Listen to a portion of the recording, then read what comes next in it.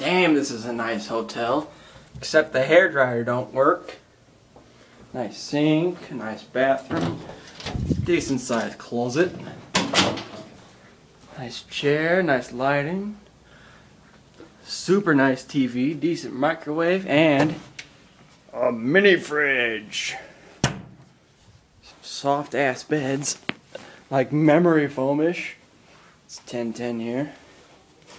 Channel lineup, two phones. It's nice lighting.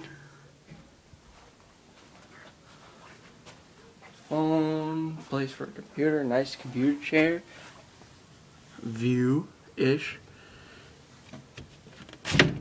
Oh shit, it opens. Heater.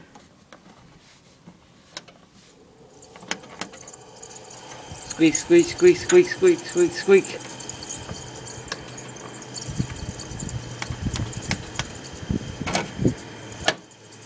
I said stop heat. No. To avoid sprinkler activation, blah blah blah. Battery's out for some odd reason, I don't know why. It's nice flooring.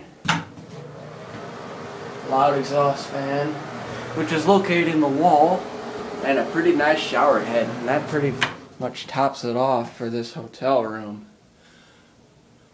Evacuation plan.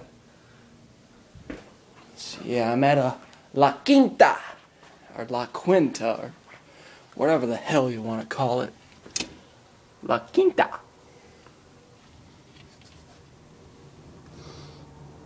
Yeah, bye.